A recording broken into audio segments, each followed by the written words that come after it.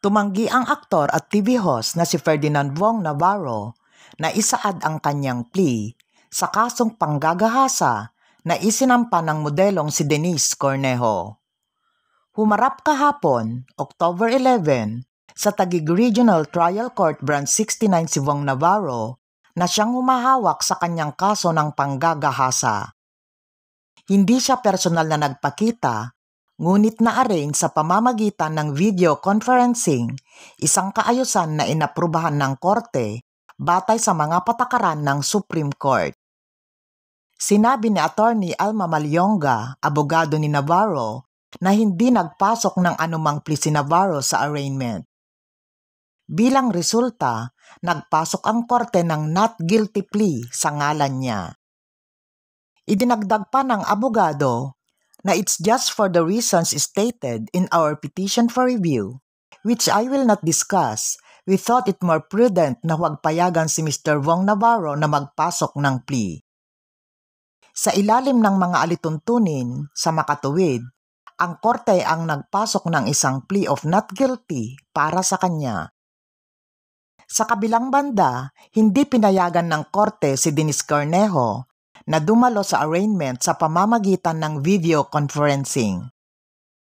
Nabigurin siyang magpakita ng personal. Sa kasalukuyan ay nakakulong pa rin si Wong Navarro sa National Bureau of Investigation Detention Center sa Maynila.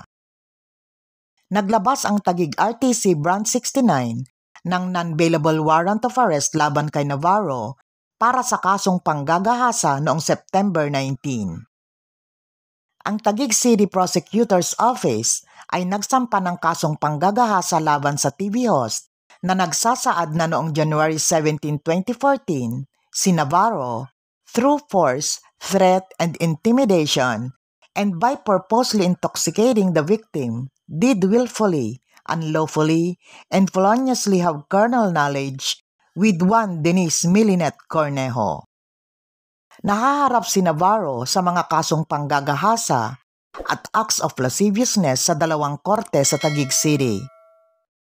Noong September 19, sumuko si Navarro sa NBI hinggil sa warrant of arrest na inilabas ng Taguig Metropolitan Trial Court Branch 116 para sa kasong acts of lasciviousness na nangyari umano noong January 22, 2014 itinakda ang 36,000 pesos na piyansa ni Navarro.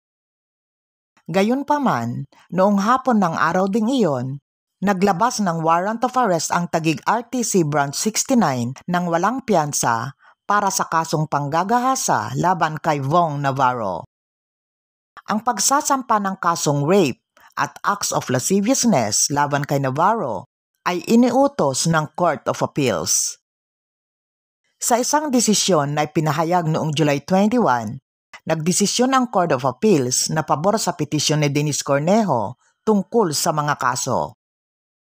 Inutusan ng CA ang Taguig City Prosecutor's Office na maghain ng impormasyon labang kay Ferdinand Wong Navarro para sa una, rape by sexual intercourse sa ilalim ng Article 266A1 ng Revised Penal Code at pangalawa, acts of lasciviousness sa ilalim ng Article 336 ng Revised Penal Code.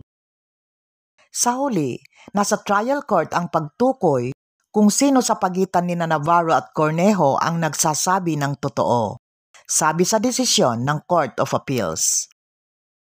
Sinabi ng CA na mali para sa DOJ o Department of Justice na tinanggihan ang petition for review ni Cornejo sa kadahilanan na ang kanyang mga pahayag sa complaint affidavits ay hindi tugma at hindi kapani-paniwala.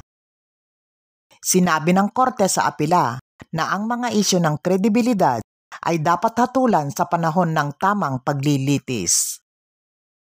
Hiniling ni Navarro sa korte ang kanyang patuloy na pagkakulong sa NBI ngunit tinanggihan ito. Sa isang desisyon na may petsang September 29, pinasiyahan ng Tagig RTC Branch 69 na pagkatapos ng masusing pagsasaalang-alang sa mga argumento ng parehong prosecution at depensa, natuklasan ng korte ng akusadong si Wong Navarro ay hindi nagawang bigyan katwiran ang pangangailangan para sa kanyang patuloy na pagkakakulong sa pasilidad ng NBI.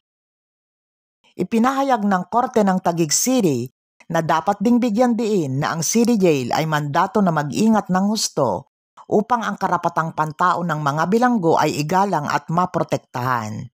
Kaya, sa kawalan ng anumang ebidensya sa kabaliktaran, ang pagpapalagay ng regularidad sa pagganap ng mga tungkulin ng mga tauhan ng kulungan ay nananaig. Sa makatuwid, ang mga lugar na isinaalang-alang ang urgent motion para sa National Bureau of Investigation na panatilihin ang custody over the person of the accused ay tinanggihan dahil sa kakulangan ng merito. Ang desisyon ang naging daan para mailipat si Vong Navarro sa Taguig City Jail.